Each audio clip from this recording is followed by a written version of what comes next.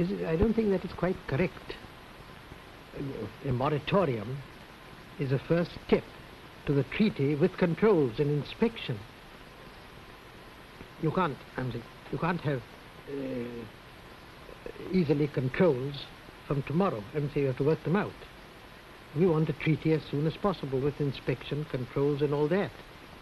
But the point is that uh, during this intervening period, we thought that uh, the moratorium should apply. The sooner the treaty comes, the better.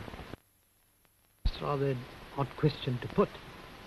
You put why should it necessarily lead to the security of the United States being affected? I'm saying the other ways of, uh, of protecting that, I don't know, I'm not an expert.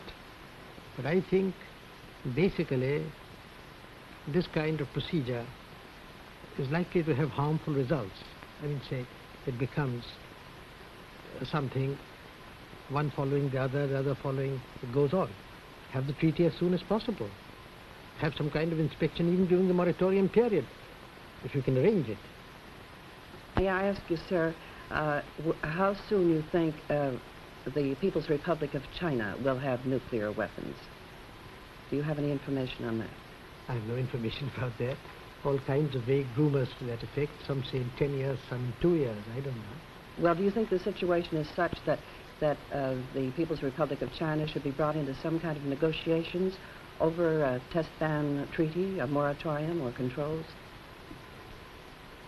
In any treaty, um, the People's Republic of China has to be brought in because the treaty will not be very helpful if a large territory like that, which might later possess nuclear weapons, is not brought in. That is obvious.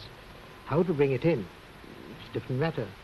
And I imagine it will be possibly more difficult to bring it in if it is not represented in the United Nations. But it may be done, perhaps, I don't know.